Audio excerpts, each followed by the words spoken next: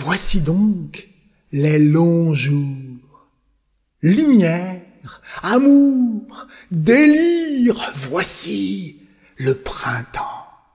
Mars, avril, au doux sourire, mai fleuri, juin brûlant, tous les beaux mois amis.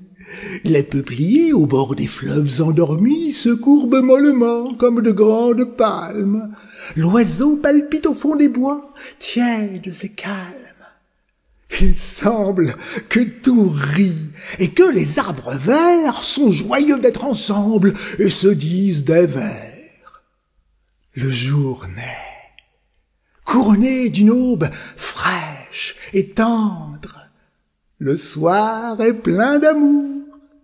La nuit, on croit entendre, à travers l'ombre immense et sous le ciel béni, quelque chose d'heureux chanter dans l'infini.